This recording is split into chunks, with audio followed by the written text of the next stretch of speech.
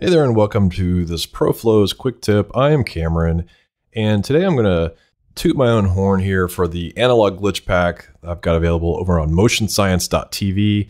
If you haven't checked out the analog glitch pack, it's a pack that uh, myself and another guy, Ryan Feigard, put together uh, to give you elements that you can use in your motion design or edits. They're really awesome elements, and I want to show you how you can use them uh, in a really simple way. So what I've got here is the pack is brought in in part two. There's part one and part two, but I brought in part two for this example.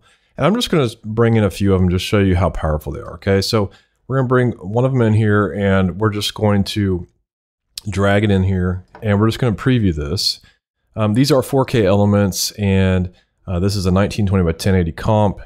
So you can see just by bringing it in here immediately right? How cool it is, right? So we can kind of see glitch here. So look, let's make the, the type glitch as well. So I'm gonna change this back to normal, go to effect. My favorite way to do this is displacement mapping, select the analog glitch 36, and then just bump the values way up here. So there you go. We've got some uh, interesting uh, graphic uh, glitching going on. I can change this back to soft light if I wanted to and a little challenging to see. So what I'll do is I'll just um, actually bring the position over just a hair since we've glitched it to the, the right. There we go. And I'll just duplicate the layer. That's looking pretty dope. It's even more dope. Um, if I undo this, let me show you a few other ways you can do some cool stuff here. So I'll change this back to normal. I will turn off the glitch layer here so you can see just that by itself looks pretty legit. Change it from, I'm just going to replace 36 with 37. You can see it gives it a little bit different look there. Uh, let's try 38. Let's bring 38 in. Let's see what that looks like. Even more serious type glitching. That's pretty cool as well. Uh, something I could do with this is I could go in, I could maybe set like a keyframe. Now let's set a keyframe here.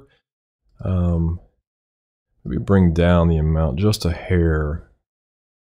You know, something like that go to the beginning here and just crank it way up, something like that. So maybe it transitions on and let's see how that looks. So maybe I set a keyframe, I would uh, make, maybe make this do ease in and then turn on my speed graph here and really, you know, that's pretty cool as well.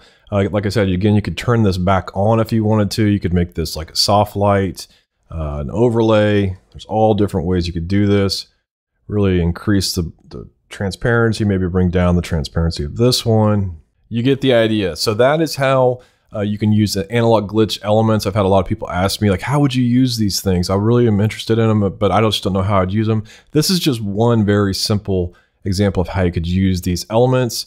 If you like this quick tip, I would invite you to check out ProFlows Plus over at motionscience.tv. We've got lots of techniques, trends, workflows uh, techniques that are way more involved than just this. There's full on lessons, series of lessons that teach you things like glitching. So I invite you to check it out. That's all I got for you today.